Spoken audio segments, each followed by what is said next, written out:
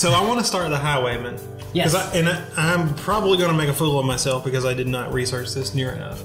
But I, I keep seeing things with, with Spielberg. Mm-hmm. And Spielberg is up in arms because Netflix is making not movies. And these not movies are, you know, being nominated for Oscars. Maybe not necessarily winning. I think they won something.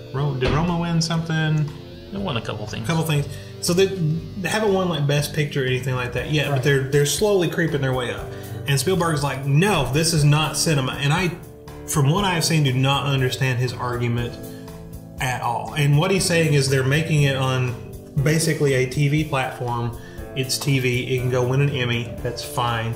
It doesn't belong at the Oscars. But I think if you make a cinematic movie, and this thing is one of the most cinematic things I have seen Yes. in a long time. This reminds me of old Hollywood, like golden age mm-hmm. cinema. And to me, this is much more of a movie than the last several things I've seen from Spielberg. I I can understand where Spielberg's coming from, and I will run to Steven's defense. All right, go for it. Um, I just I do think there's a lot of. It kind of sounds like he's whining a bit because of how much success he has had in life, and I think that he's probably a little bit more animated about the topic than he should be. But he's got there's some good points. Um, the environment that you're watching on when you see a movie in a theater is a controlled environment. The director and the intent of the film and the art it has a way that it's supposed to be viewed, and it is viewed that way. The lighting is, is set, the sound is set a certain way. Um, there's a whole scope of what it's supposed to be that's there. Uh, when people go to see a movie in a theater, they often you get ready to go to the movie. You prepare yourself for the experience. Uh, when you see a movie on Netflix, um, you're just turning it on, you're watching it, or any streaming service. You pause it whenever you want. You don't have to watch the entire arc of the story from start to end within the amount of time that's intended. It's more convenient. I disagree that the movies should not be eligible for for awards. If they're good film, they're good film. But there is an argument to be made that streaming services putting these movies out and not putting them in cinema to be viewed in that way could damage the integrity of filmmaking as an art. well, But well, I was going to say though, didn't Roma go to cinemas? Uh, briefly. Right, and so Spielberg wasn't complaining. I heard him say Yeah. that it was in cinemas so briefly that it should not be considered a movie. And I'm thinking, well, most of the movies that win Oscars we can't see because we can't even get to a place that screens them, you know, without driving four hours in any direction. Hmm. So how is that different? Which I, I mean, I get the point too. Netflix. If you want to talk about like small films competing and stuff, well, then you've got Netflix with basically unlimited resources. But so does Steven Spielberg. So should his movies not be considered? And then like, there's just too many like nuances there. Now I do agree that they should be in a cinema, but I don't care if it goes to cinema and Netflix at the same time. Then it's a movie, and like because I, would have again like the Green Book or uh, the Sisters Brothers and like yeah, we can't watch it. You know where I'm going to watch it? I'm going to watch it when it comes on Netflix because that's Which, how it's available to, to me. me, since those cinema movies do eventually make their way to home video to Netflix anyway, it kind of takes all the air out of the argument, as far as I'm concerned. Well, and most of the celebrities watch them on private screenings at their home, Yeah. Anyways, so there goes our. Yeah, why don't we take away two of the 14 daily screenings of Ready Player One so we can watch something Yeah, worth watching? absolutely. Yeah. Yeah. Well, here's here's the thing that has nothing to do with this specific film. That this is emblematic of a political and cultural shift that's going on in the country right now.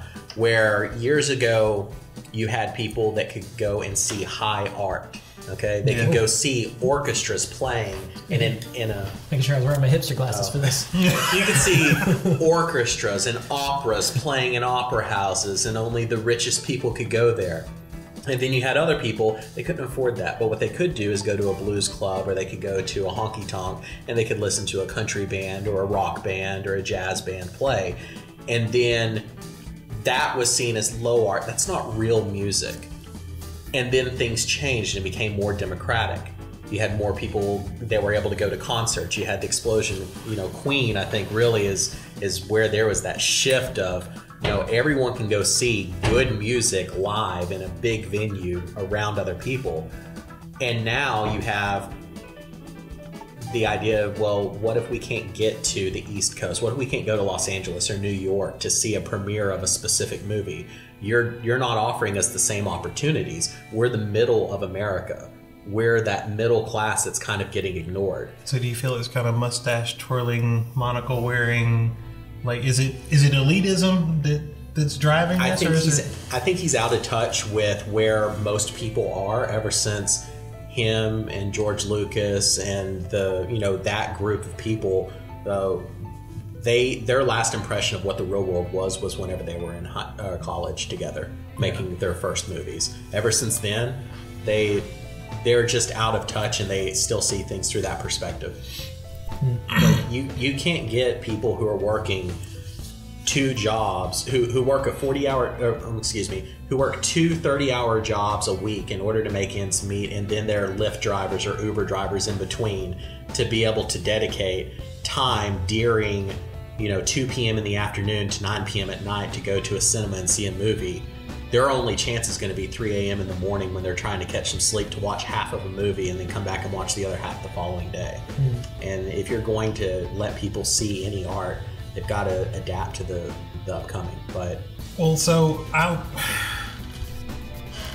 I don't know because I have so I have two feelings on this because if you go somewhere and it doesn't matter sport movie anything in competition right so the Oscars is a competition somebody votes somebody wins if you go somewhere and you're like but I'm a little fish and I'm having to compete out of my league this isn't really fair that I have to compete because I'm going to lose. I don't have the money, I don't have the resources, I don't have the actors won't come work for me. I don't have anything. And that's true of anything. If I'm playing high school basketball, I don't want to go play the college teams. If I'm playing 1A basketball, I don't want to play the 6A teams. I'm just that's not fair. Mm-hmm. But at the same time, once you reach a certain level, it's like, all right, if you're going to win you know the top prize that you can win. So the best picture Oscar is would we all agree is like that's the biggest award you can get as a filmmaker is you have the best Oscar winner best, Best picture. picture, best director. Yeah, Whatever those okay. two would be. Well, if you're going to win that, then it ought to be all bets are off. Whoever puts out the best movie, you win. And the only way you win is to put the best movie, and that's the way it should be. And if you ever want to be better, then you have to come. Like so many times in life, I've done stuff, thought I was good, and then I saw somebody do it, and I'm like, "Ooh, he's a lot better now. But if you go play it at their level, you're gonna get beat. But you you start rising, and then you can go back to where you were, and you'll be amazed at how much better you are. And you're like, "Wow, these people I used to play with or used to compete against kind of suck." You know, I didn't realize. And so I don't like him being at the top and going, "Yep, no, no, y'all can't come play in our house. Go away." that's how Go it is away." with music, though. I think music is a really good analogy for this. When you look at who wins uh, the American Music Awards, the Billboard Awards, it's not the person who was uh, the most inventive or told the best story using song. It's not the it's not it's not really the best album of the year. It's the person that had the widest distribution and sold the most CDs to the widest audience based upon whatever 20 year old alliances are still going on in the music industry. You know, whatever gets radio play, those are your contenders for the, the best movie or the best uh, songs of the year and the best albums of the year. And that's been a strategy that they've been using for the last 60 years. I mean, there are underground people, there are technically talented musicians that you'll never hear of that are hands down the best in the world. Well, I'm sure. I mean, that's true for anything. Yeah.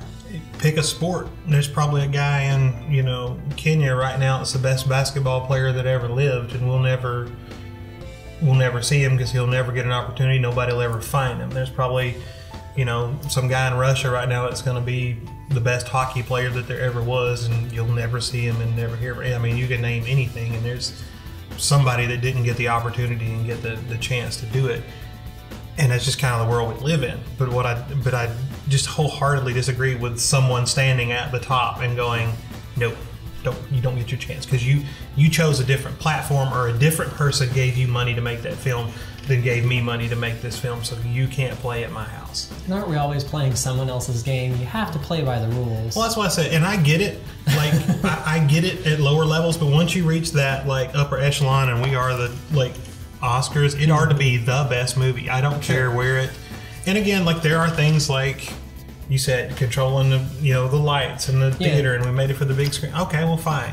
So if you want to say it has to be in a theater, then you know put some rules forth, and and I'm sure Netflix, if they got a movie, if you say all right, it's got to be in the theater for ten days, and it's got to have a distribution of twenty theaters, then Netflix will put it in, you know, twenty theaters if, for ten days. if it's days. a written rule, I get it, and I'd be totally behind what he said. far as I know, there's not any written rule, just that it has to be in theaters Actually, at some point. I would love if there was like a 15 second disclaimer in front of like the serious films on Netflix. If it said intended to be watched, you know, with lights off on surround sound, uh, or intended to be watched in native language if it's a foreign film. Um, if they had viewer instructions or suggestions, that'd be awesome. Or like just- paired with uh, Moscato. This one is for Extra beer butter and on the popcorn, yeah. yeah, yeah. All right, so I guess we should talk about the show a little bit. anyway. oh yeah. So I- I- in summary, see Highwaymen. I do have a final Yeah, thought on it's the really Oscars if you want me to jump down. Okay, that go ahead, go ahead. I I gave up on the Oscars a few years ago for a series of like little things that really annoyed me, um, and oddly enough, sci-fi movies getting a snub is not one of them. Should have been, because they never get recognition. Yeah. But the uh, I'm gonna draw some hate for this. Slumdog Millionaire winning Best Picture really made me mad. Not because it won, not because I'm not saying it's a bad movie. It's a foreign film. They have a category, Best Foreign Film. That's the category it should have been eligible for. But So- instead, it got Best Picture. And I forget what was contending for Best Picture that was that I liked better. I don't remember now, but that made me mad. Again, I don't have that problem because if you're going to have the best picture, then it should be the best Well, and right, anywhere. Don't then don't if it have a Best Foreign Film qualifies. category. Does it really qualify as best foreign film? It was primarily in a foreign language, but it was like Warner Brothers and Fox. They distributed it. It was produced like in India or wherever that guy's That was directed by Danny Boyle. It's Danny Boyle. But I'm supposed to know everything. I mean, 28 Days Later was a foreign film. Well, there you go. No, it's- I don't know. Anyway, um, It's just as foreign as Trainspotting.